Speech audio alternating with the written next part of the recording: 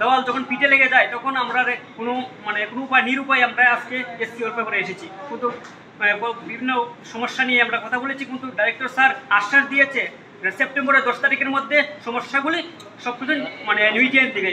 তার জন্য এই আশ্বাস নিয়ে আমরা আজকের এই আমরা আবার, আমরা প্রতিনিয়ত আমরা স্যার ডাইরেক্টর বিস্তারিতভাবে বলেছি যে আমরা তো প্রত্যেক দিন আসতে পারব না।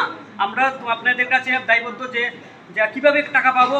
স্যার বলেছে, তিন দিন টাকা দিচ্ছে না, এই মানে বিভিন্ন পেন্ডিং আছে হ্যাঁ প্রবলেম দেখাচ্ছে। আমি তো এইসব আমরা বলতে আমরা স্টুডেন্ট আমরা প্রত্যেকদিন তো আসতে পারব না। তাই একটাই আমরা মানে এসসি ওয়েলফেয়ার কাছে আমরা দায়বদ্ধ ঠিক আছে, কবে টাকা পাবো, না পাবো না, এটা আমাদের আমাদের নিশ্চিত দিতে হবে। স্যার বলেছে যে সেপ্টেম্বর মাস তো আজকে কুড়ি তারিখ, অক্টোবরের দশ তারিখের মধ্যে টাকা পেয়ে যাবে।